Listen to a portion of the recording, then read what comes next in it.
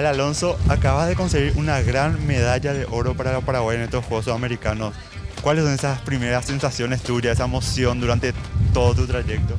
Bueno, la verdad que fue algo bastante emocionante. Eh, yo la verdad que sinceramente estaba bastante nerviosa, porque veníamos, esta era la última prueba del día para mí. Y bueno, la verdad que estoy bastante emocionada.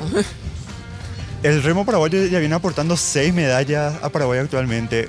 ¿Cómo estás viendo esta evolución del remo contigo como una de las principales figuras? Bueno, la verdad que remo, eh, en ese sentido, creo que eh, así como para volver a repetir, estamos en la era dorada.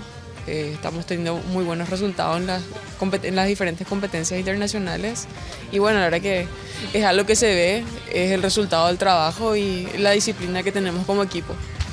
¿Quién marca esta medalla dorada en tu carrera? Porque venís eh, teniendo una carrera exitosa en los Estados Unidos con tu equipo, también a nivel sudamericano, pero digamos que representando a tu país, ya tuviste una experiencia en los Juegos Olímpicos también, pero ¿qué representa esta medalla para vos ahora?